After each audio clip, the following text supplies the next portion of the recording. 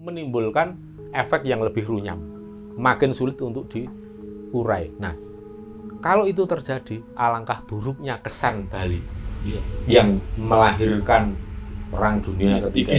Untung itu tidak jadi karena apa? Kalau saya sih optimis mas, karena apa? Orang Jawa, orang Nusantara ini punya kemampuan spiritual, daya jelajah spiritualnya luar biasa dan jarang kita temui di masyarakat-masyarakat yang lain yang ada di dunia ini. Era sekarang Pak Jokowi saja baru mintip-mintip mendekati Hmm. Pambukan Gapura sudah seperti ini. Aura kewibawaan dan pengasihan Nusantara kepada dunia ini seperti apa? Apalagi nanti setelah Nah, secara non teknis Hmm. kami juga diminta pada saat malam Anggoro Kasih dan pengerokok. Nah, itu. Karena itu kebetulan malam Anggoro Kasih yang Selasa Ya, ya, betul. Malam Selasa Kliwon ya. ya. Lebur dening pangastuti itu tadi. Iya. Jadi Surodiro Jayaningrat lebur dening pangastuti. Ini sebenarnya ilmu, salah satu dari ilmu sastra jendro.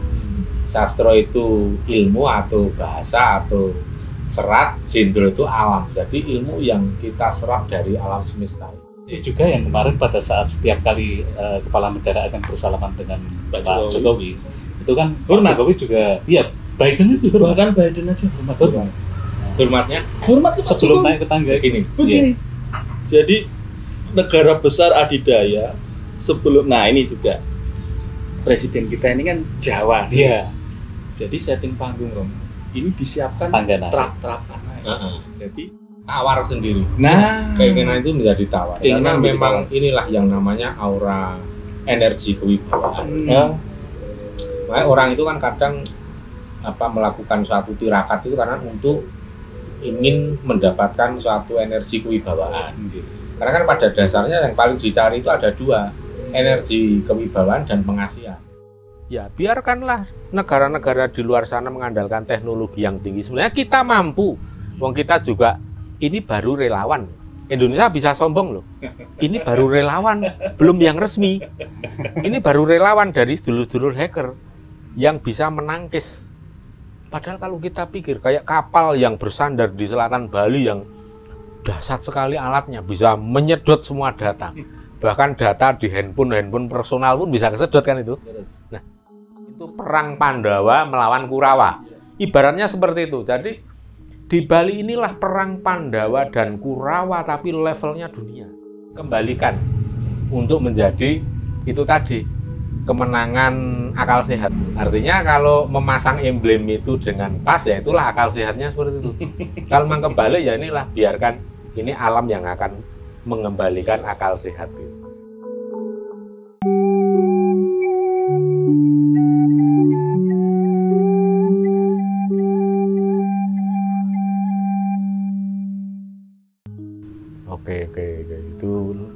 Luar biasa. Nanti nanti kita analisa dan kita lihat dari sisi yang lain. Cuman sebelum sampai ke sana, ini yang menarik sekali tadi pas jamuan makan malam ini. nah Oh, yang cuaca. Cuaca. Iya, Ini. ini kan wah ini nggak kalah menarik ini. Soalnya gini mas, itu kan bulannya sudah ke November November. November itu kan di Jawa Bali kan tahu sendirilah curah hujannya tinggi banget itu, Betul. ngegas banget, betul ya kan? Ya dan gala dinner itu kan dila- dilakukan di ruangan terbuka. Outdoor, Outdoor. nggak ada tenda sedikit pun, Iya. dan di halaman depannya Garuda Wisnu Kencana kan? Betul. Di situ kan Nah. nanti ada pentas eh, musik kemudian eh, dengan menggunakan teknologi tinggi yang pakai laser. Ya. Ya. Betul. Itu kok bisa pede banget. Nah, Nah ini sekarang Se- coba. sekarang secara teknis dulu. Oke. Ya. Nanti baru yang non teknis. Ya.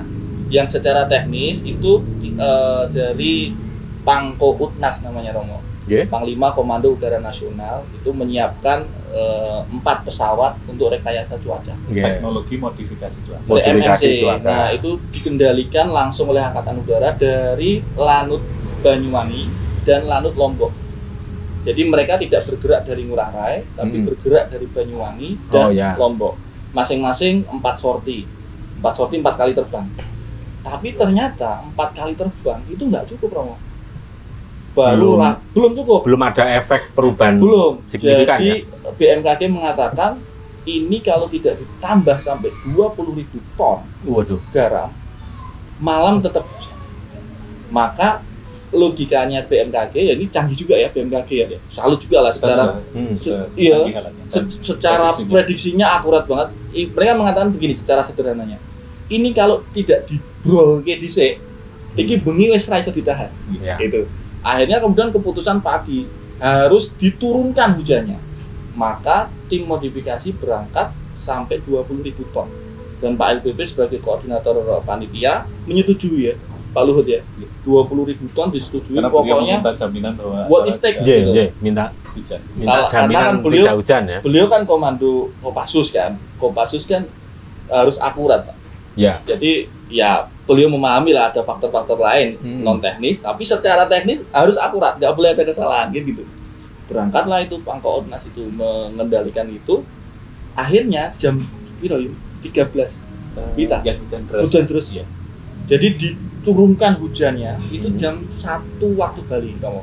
Jam 1 waktu Bali. Waktu Bali itu Satu banget. siang Siang Satu siang kira-kira sampai jam 3-an. sampai setengah empat. Satu empat. Itu di los. deras sekali. Deras sekali pas di titik GWK karena posko kami kan nggak jauh dari situ.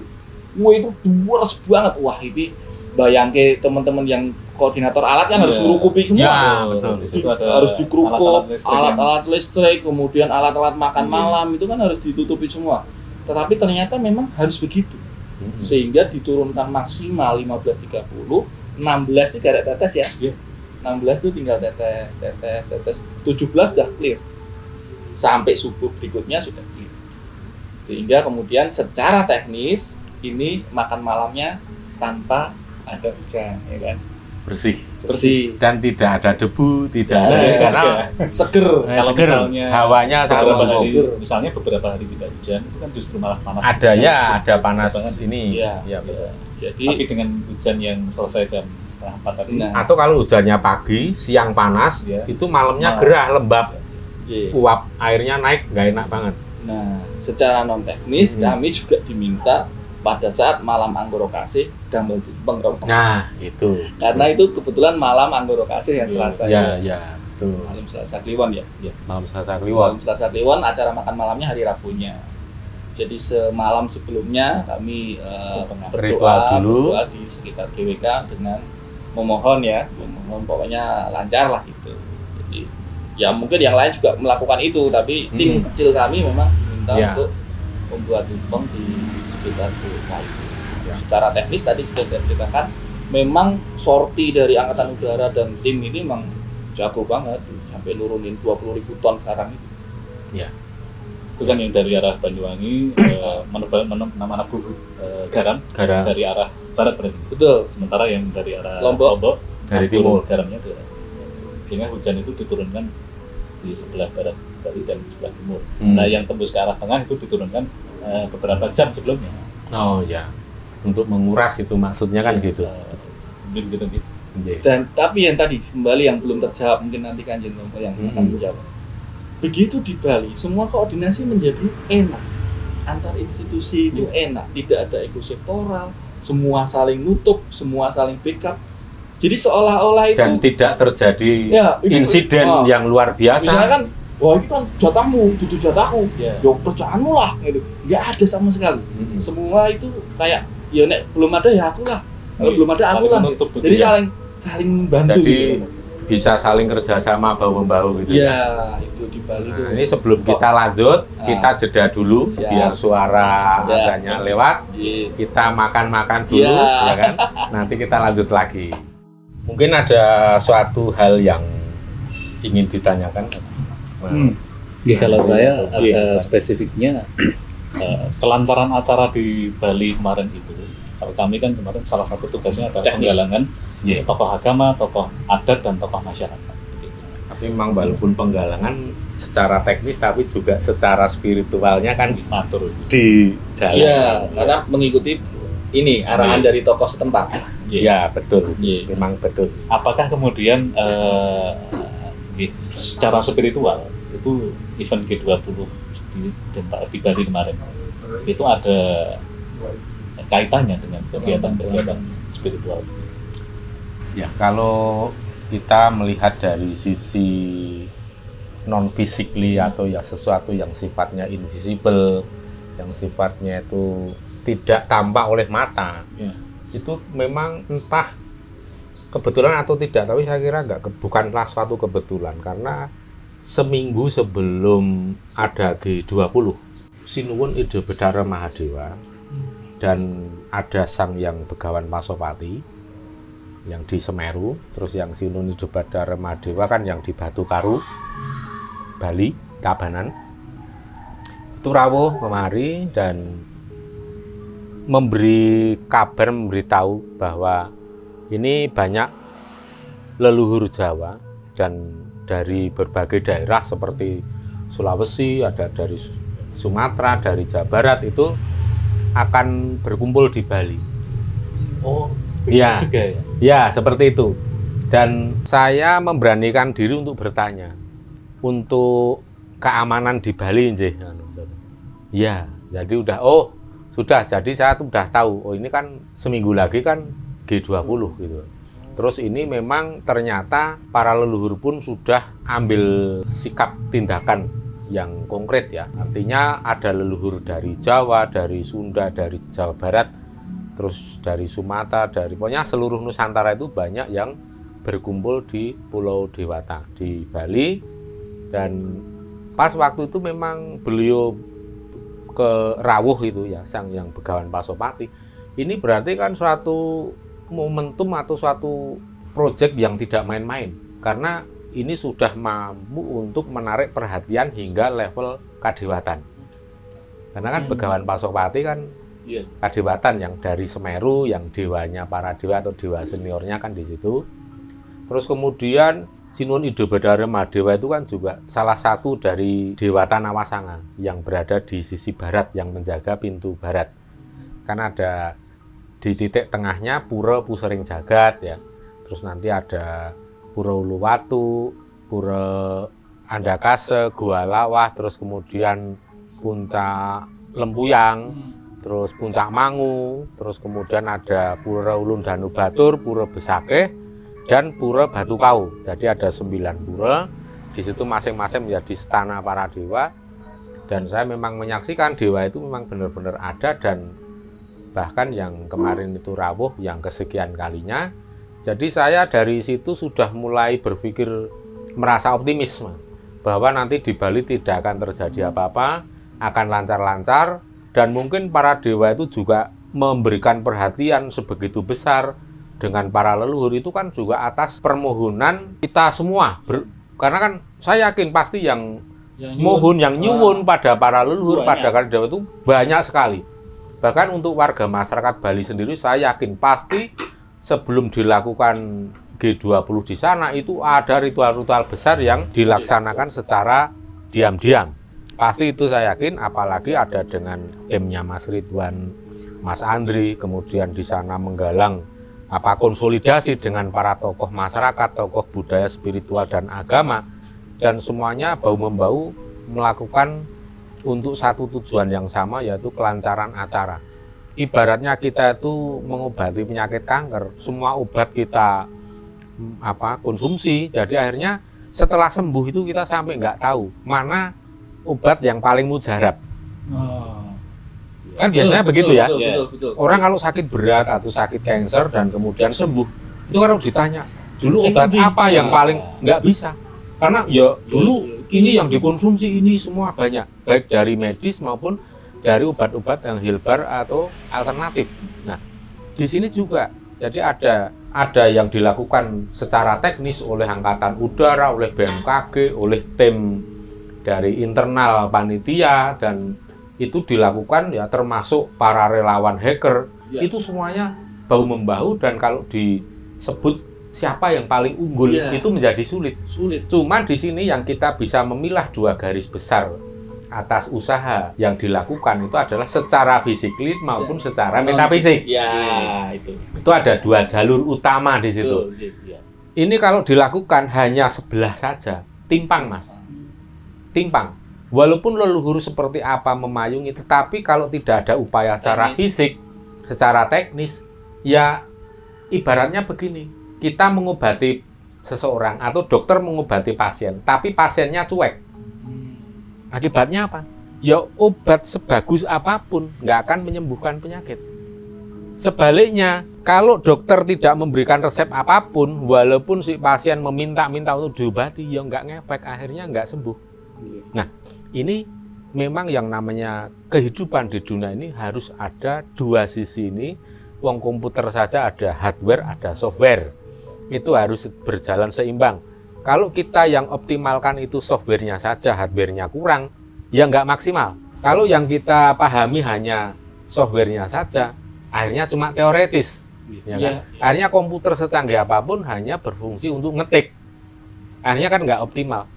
Jadi di sini yang kita lihat dua jalur ini bisa dilakukan secara optimal dan masing-masing ya kita tidak bisa terus men- kita menilai oh ini yang paling menentukan usaha fisik atau ini yang metafisik yang paling menentukan. Kita tidak bisa. Karena masing-masing punya peran sendiri punya fungsi dan punya tugas yang memang harus dijalankan dan dilakukan. Itulah fungsinya maka dalam kehidupan pribadi pun itu kan kita harus mengasah intelektualitas kita, mengasah rasionalitas kita melalui pendidikan, melalui sains, teknologi dan segala macam, tapi juga mengasah batin. Kita punya menu-menu batin yang harus dipenuhi, punya menu-menu fisikly yang harus dipenuhi. Sama. Jadi memang harus ada balancing. Nah, ini merupakan potret yang memang idealnya orang hidup seperti itu. Dan satu lagi yang perlu saya komentari. Kenapa di Bali? Kalau menurut saya pribadi, Mas, ini bukan suatu kebetulan. Karena apa? Ini memang sudah saatnya khususnya warga masyarakat Bali itu ngunduh. Ngunduh apa yang telah pernah mereka lakukan. Yaitu ketika melakukan dharma yang luar biasa sekali karena dharma tingkat nas- internasional. Pada saat melakukan upacara yang namanya Karya Agung Pangurip Bumi. Jadi ini masih ada rangkaian dari Karya Agung Pangurip Bumi. Dulu tahun 2019 akhir, ketika kami mendapatkan perintah dari beliau Sinun Ido Bedare Masih Dewa untuk ke Pura Batu Kau, di sana ada apa, yang penting kita laksanakan ke sana. Begitu ke sana kita tahu, wah ini ada persiapan nanti dua minggu lagi akan ada upacara agung Pangurip Bumi yang dilakukan setiap 26 tahun sekali. 20 tahun sekali. Di mana Ido Bedara Madewa melakukan pelukatan di Pura Tanah Lot yang ada di laut itu. Nah, ini jadi ada pelukatan inti dari situ maka tadi ada pelukatan-pelukatan yang dilakukan oleh para panitia pimpinan itu memang tepat sekali. Itu seperti napak tilas yang juga dilakukan oleh entitas kadewatan dalam rangkaian besar upacara agung Pangurip Bumi. Nah, Pangurip Bumi itu apa? Doa warga Bali bukan hanya untuk masyarakat Bali, bukan hanya untuk masyarakat nasional, tetapi juga untuk dunia. Karena apa? Kok ada pangurip? Pangurip itu kan panguripan untuk dihidupkan. Karena apa? Bumi ini ibaratnya dalam tanda petik mau mati. Mati karena apa? Kalau 2019 mungkin orang masih banyak tanya. Kalau sekarang kita sudah bisa menunjuk matinya bumi ini apa? Satu, dua tahun kita mengalami wabah COVID. Disambung dengan adanya perang. Perang ada krisis energi. Krisis energi mau nggak mau ada yang namanya krisis ekonomi. Krisis ekonomi sudah berada mengantarkan umat manusia di ambang kebinasaan, kehancuran kemanusiaan kan begitu. Krisis kemanusiaan akhirnya. Nah, sekarang yang namanya elit dunia itu kan negara-negara yang pola tingkahnya paling mempengaruhi dunia ini. Sepak terjangnya paling membuat warna dunia ini mau pahit, mau getir, mau manis, tergantung Ya, mereka- sepak mereka terjangnya mereka-mereka itu. Ada peran mereka di situ. Ada peran besar. Sekarang coba ada NATO, ada Amerika, Tiongkok. kemudian a- Tiongkok, ada Rusia. Ini apa negara kecil? Mereka negara besar juga punya kapital yang besar, cuma sumber daya manusia, sumber daya alam yang juga besar. Nah, di sinilah maka sesuatu kelebihan itu akan menjadi ujung dari kehancuran apabila dikelola dengan mismanagement. Nah, dan lagi ketika kita mencermati reaksi Pak Putin ketika selesai deklarasi atau mendengar deklarasi, inilah kemenangan akal sehat. ya kan? Ini sebenarnya mewakili, mewakili dari keadaan dunia ini yang sebenarnya orang ini sedang mengandalkan okol, mengandalkan kekuatan emosional yang adigang, adigung, adiguno. Itu jelas orang yang seperti itu sudah akan mengesampingkan rasio, apalagi yang namanya kemanusiaan. Rasionalitas dan kemanusiaan itu sangat erat. Orang yang mampu melakukan sisi menyentuh kemanusiaan itu pasti orang yang bisa berpikir dengan akal sehat. Ketika orang sudah nggak mikir akal sehatnya, maka kemanusiaan pun bisa dihancurkan dengan sendirinya. Nah, sekarang kalau Putin berkomentar inilah kemenangan akal sehat, ya memang kalau kita pikir ya memang harusnya harusnya adem ayem dan kita membangun dunia ini bersama-sama bahu membahu kembali. Nah, itu kalau saya lihat yang membuat skenario seperti itu sebenarnya bukan anggota G7 sendiri. Mohon maaf ini pandangan pribadi saya. Karena di situ banyak intrik politik yang luar biasa, bahkan tadi memang ada sinyalmen menjadikan Bali ini sebagai padang Kurusetro. Tempat peperangannya antara hawa nafsu melawan yang kebaikan. Itu perang Pandawa melawan Kurawa. Ibaratnya seperti itu. Jadi di Bali inilah perang Pandawa dan Kurawa tapi levelnya dunia. Yang menang siapa? Ternyata tidak ada yang dikalahkan. Semuanya menang. Itu karena apa? Karena ada kekuatan spirit di Bali. Itu menang tanpa ngasorake itu. Menang tanpa ngasorake. Sekarang ada nggak negara yang merasa di Nggak ada. Rendahkan. Iya, iya. Enggak kan? Nggak ada. Termasuk Rusia. Rusia sendiri, bahkan Amerika sendiri. Iya. Dan kita lihat negara-negara yang tadinya ngotot, yang dari awal sudah gencar banget tendensi untuk memboikot, untuk menggagalkan G20, akhirnya apa? Ya datang ke Bali justru dengan rajin sekali kan, dengan penuh semangat dan ya entah apa yang dia bawa bekal karena mungkin terlalu menyeramkan atau apa. Kalau berkelana sendiri jauh dari rumah harus bawa peralatan perang atau perisai yang komplit. Itu urusan mereka. Tapi yang kita lihat tadi yang diceritakan, Mas, kita menjadi pemilik alun-alun stadion yang untuk berlaga. Itu bisa bekerja dengan baik. Dan ini kalau kita lihat ya bisa jadi tidak menutup kemungkinan sebenarnya Indonesia itu mungkin akan menjadi target yang tidak seperti ini, tapi bisa jadi menjadi target yang lain. Bisa saja kan yang namanya politik.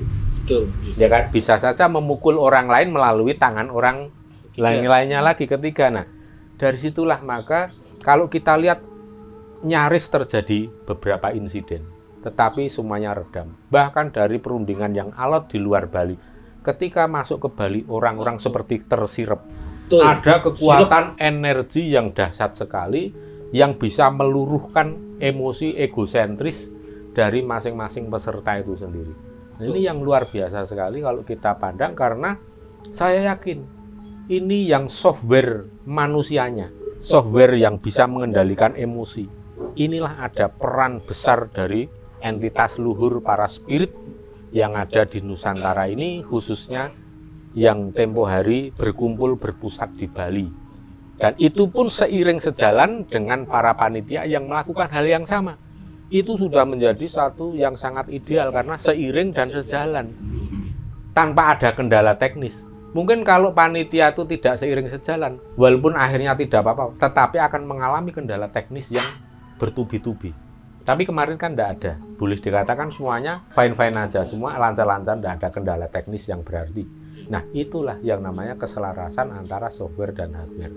Termasuk adanya upaya-upaya mungkin dari pihak luar untuk ya mungkin mengkondisikan ini nyari ini apa istilahnya nyari ikan di air keruh gitu kan. Itu pun tidak terjadi dan akhirnya kalau saya bisa menyimpulkan dalam suatu pepatah Jawa Surodiro Joyoningrat lebur dening pangastuti. Ya kan? Segala angkara murka itu akhirnya apa? Dilebur dengan sikap welas asih kasih sayang. Dan itu terjadi di Bali. Mungkin kalau dilaksanakan di luar Bali Nah, beda cerita Iya, iya, iya. beda cerita ya Selain dari sisi pengamanan mungkin akan lebih ekstra Iya. dan lebih repot mungkin lagi. kalau dilaksanakan di Eropa atau di Amerika atau di negara yang lain nggak tahu apa yang terjadi nggak tahu.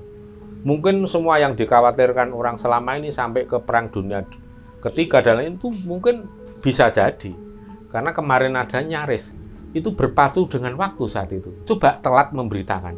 Orang keburu emosi mengambil tindakan, tindakan yang tidak disertai dengan data informasi yang akurat, bisa saja salah dan kemudian menimbulkan efek yang lebih runyam. Makin sulit untuk diurai. Nah, kalau itu terjadi, alangkah buruknya kesan Bali Iya. yang melahirkan perang dunia ketiga. Untung itu tidak jadi karena apa? Ada yang namanya invisible hand. Iya. Boleh dikatakan oke, memang lindungan Tuhan seperti itu. Tapi kan bukan Tuhan secara langsung. Tapi ini urusan di dunia. Maka titah-titah luhur inilah yang kemudian menjadi kepanjangan tangan Tuhan di situ perangnya. Ini kalau kita melihat ini memang luar biasa.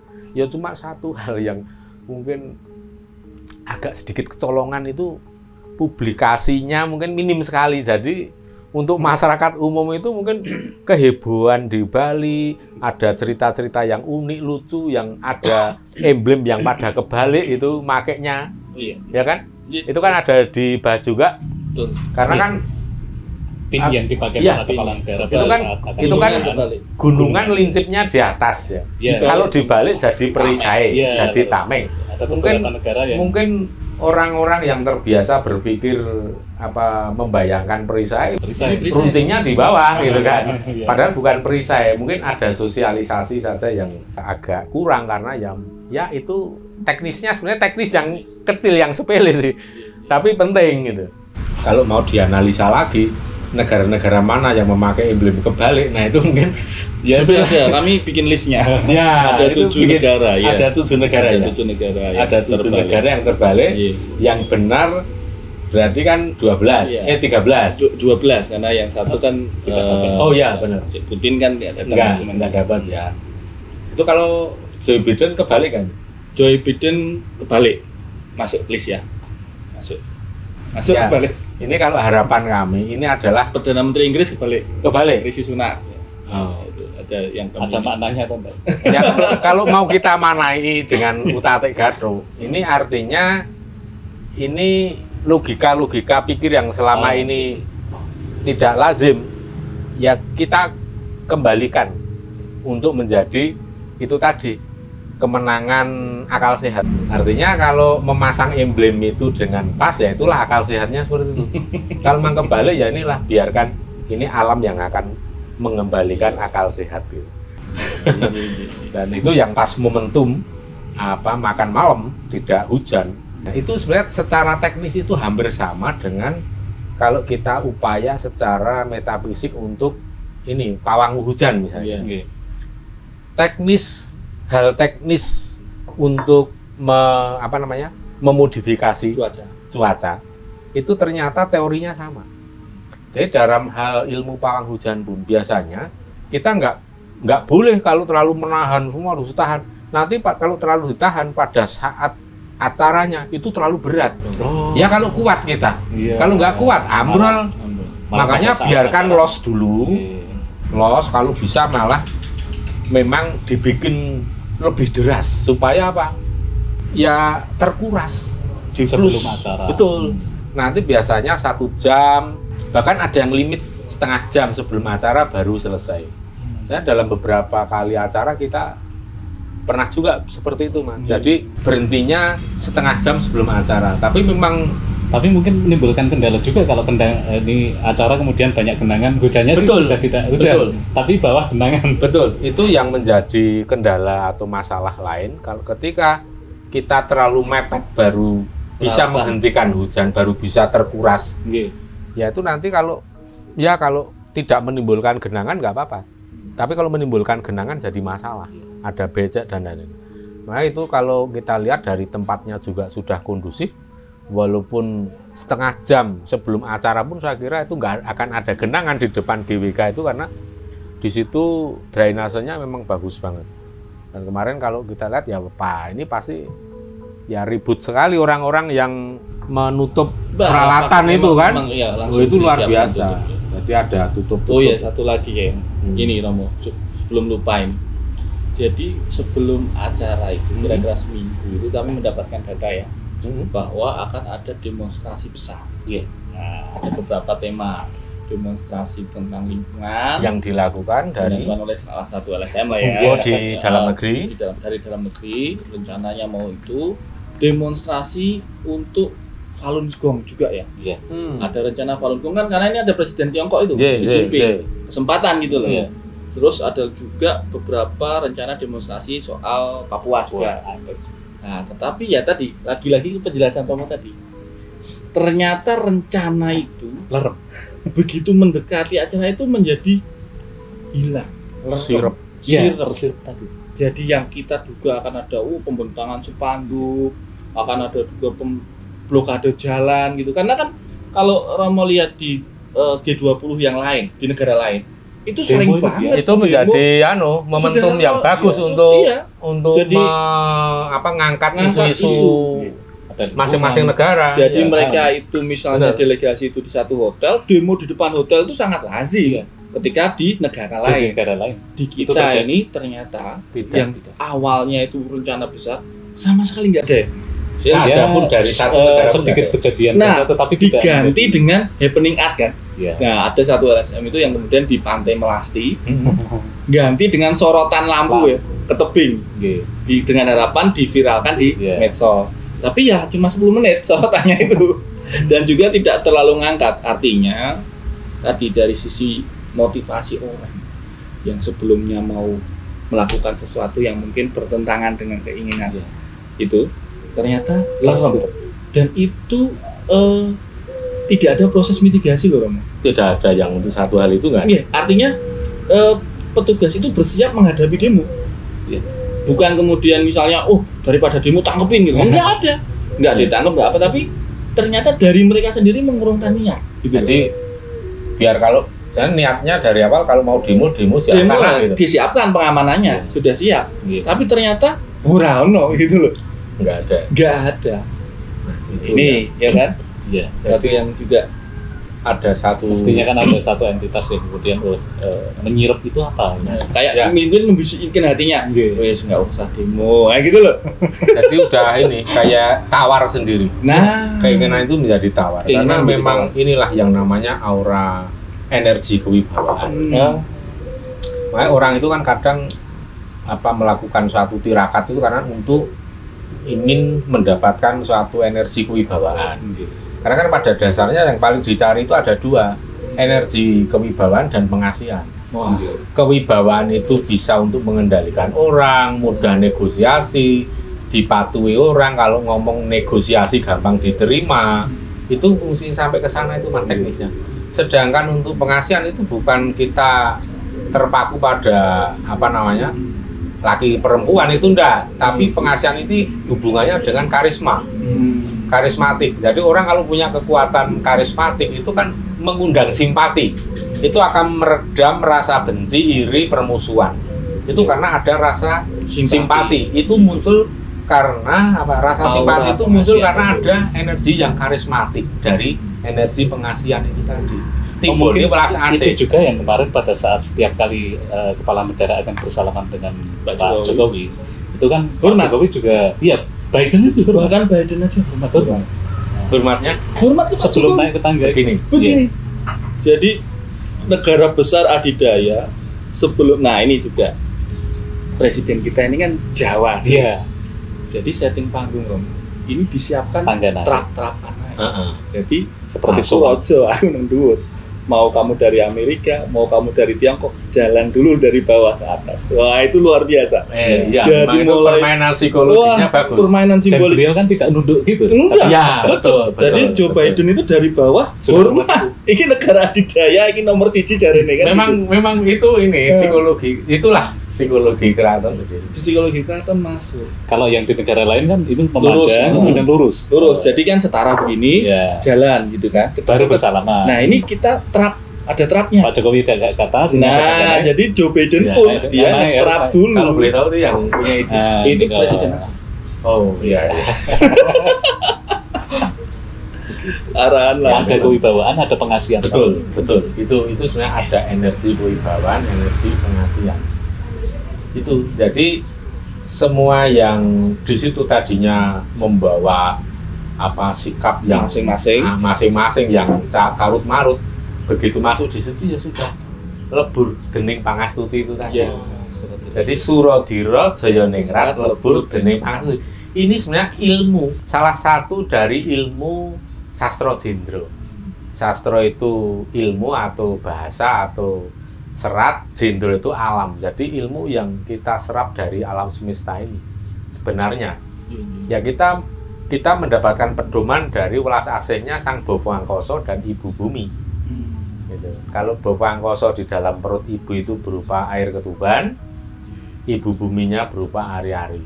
Sebenarnya kan manusia itu kan di satu sisi dipangku oleh ibu bumi, di satu sisi dinaungi, direngkuh oleh Bopo Angkoso atau langit. Nah itu. Dan itu bisa diterapkan dalam strategi politik, dalam strategi bisnis dan apa pun itu sangat manusiawi. Karena di satu sisi menguwongke wong memanusiakan manusia tapi juga memberikan perlindungan memberikan apa yang dibutuhkan. Nah ini yang dilakukan di Bali seperti itu.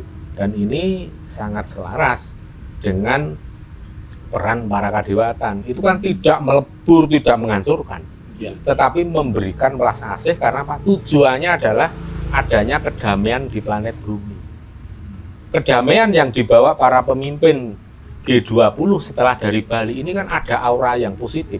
Ya.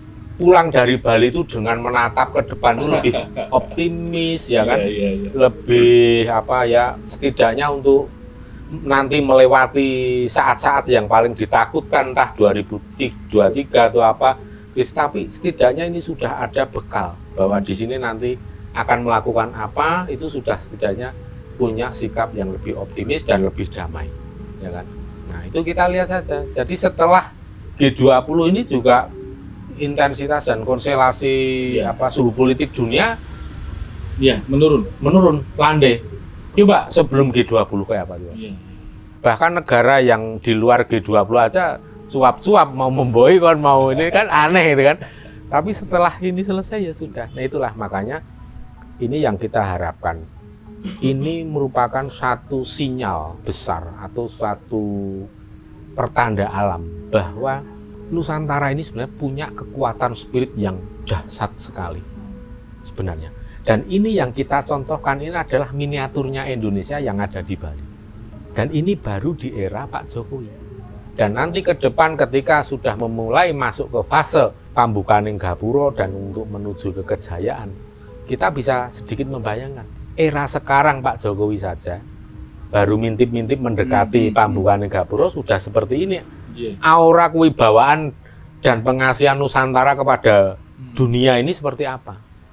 Apalagi nanti setelah makin terbuka jalan spiritual ke jati diri Nusantaranya itu setidaknya kita sebagai penduduk Nusantara juga harusnya lebih optimis menatap ke depan bahwa kita ini bangsa yang punya keunggulan yang luar biasa, jati diri yang kokoh, punya daya spirit yang bisa mempengaruhi dunia tapi bukan dari sisi menghancurkan atau destruktif atau hanya mengandalkan okol. Ya, biarkanlah negara-negara di luar sana mengandalkan teknologi yang tinggi. Sebenarnya kita mampu. Wong kita juga ini baru relawan. Indonesia bisa sombong loh. Ini baru relawan, belum yang resmi. Ini baru relawan dari sedulur-sedulur hacker yang bisa menangkis. Padahal kalau kita pikir kayak kapal yang bersandar di selatan Bali yang dahsyat sekali alatnya bisa menyedot semua data. Bahkan data di handphone handphone personal pun bisa kesedot kan itu itu bisa ditangkal. Oleh apa?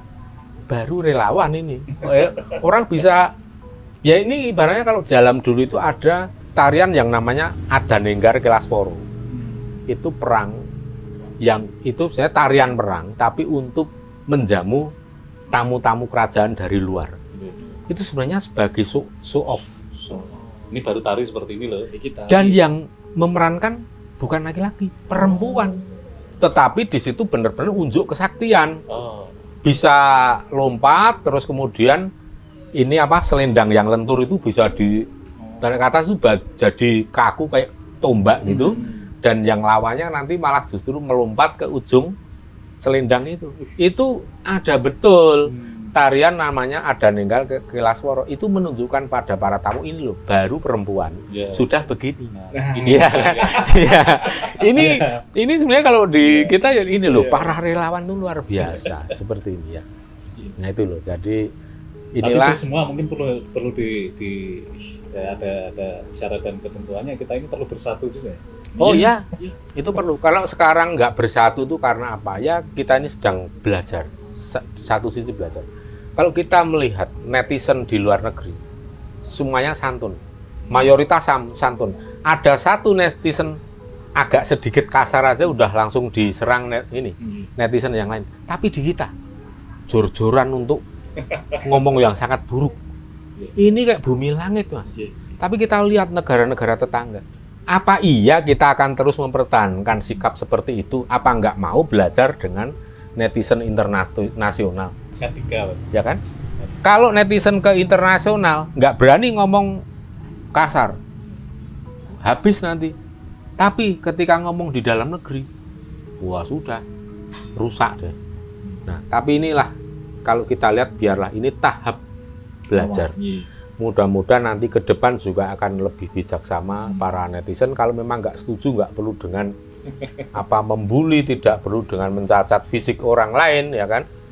Nah itu harapan kita dan saya optimis kok bangsa kita itu masih belajar, apalagi kalau orang sudah mulai paham tentang kearifan lokal, terus kemudian mulai mengaplikasikan sedikit banyak kearifan lokal dalam dirinya, pasti itu akan membawa ke sikap yang santun, akan membawa sikap yang lebih teduh dalam pergaulan masyarakat luas, baik secara langsung maupun di dunia maya.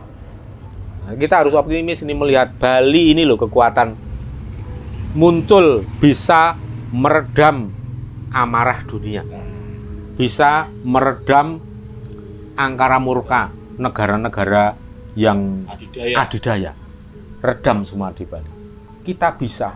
Bahkan nanti ketika sudah titik wancine Nusantara menjadi mercusuar dunia itu kita bisa membayangkan dalam kekuatan spiritual kekuatan itu memancar ke seluruh negara-negara yang ada di dunia ini menjadi satu barometer menjadi satu contoh. Seperti itulah orang hidup. Cara berspiritualnya seperti itu. Kalau saya sih optimis mas. Karena apa? orang Jawa orang Nusantara ini punya kemampuan spiritual daya jelajah spiritualnya luar biasa dan jarang kita temui di masyarakat-masyarakat yang lain yang ada di dunia ini. Ya, nek boleh dibilang ya memang seperti ini keturunan para dewa. Ya, terima kasih Ini sekali dari Kami matur ini. nuwun sekali ya. Ada Ya. ada sudut pandang yang berbeda. yang berbeda Tentang ke- G20. diundang oleh Iya. Romo Sabdo ke sini sharing-sharing matur sembah nuwun. Saya juga matur nuwun Mas Ridwan, Mas Andri. Ini kalau kita nggak mendengar langsung cerita bagaimana yang berkiprah di Bali, kita nggak akan tahu apa yang terjadi di dalam dan seperti apa perjuangannya. Ternyata ya memang ya seru. seru banget Iya. lah. Ye, matur nuwun dan kita tutup sampai di sini. Semoga kita semua diberikan kelimpahan rezeki, kelimpahan kesehatan dalam kondisi seburuk apa pun tansah nyandung nyampar sekar cempaka mulya manggih kabejan. Wilujeng rahayu kang tinemu bondolan bejo kang teka saking kersaning Gusti Suradira Janingrat lebur dening pangastuti rahayu sagung titah tumati. Rahayu.